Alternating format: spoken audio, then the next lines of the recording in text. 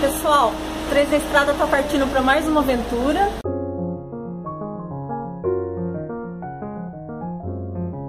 Olha só, essa é minha única mala. Mentira. Acompanhe a gente aí nos canais que a gente vai informando para vocês e o nosso destino final é surpresa, tá? Beijo.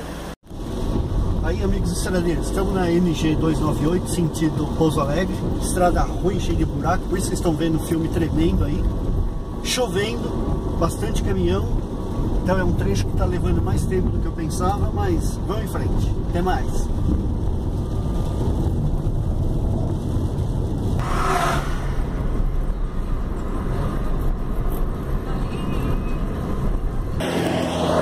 Você que é aventureiro e gosta de conhecer o Brasil, vem com a gente nessa aventura. Vem tomar um café da tarde conosco nessa paisagem maravilhosa aqui.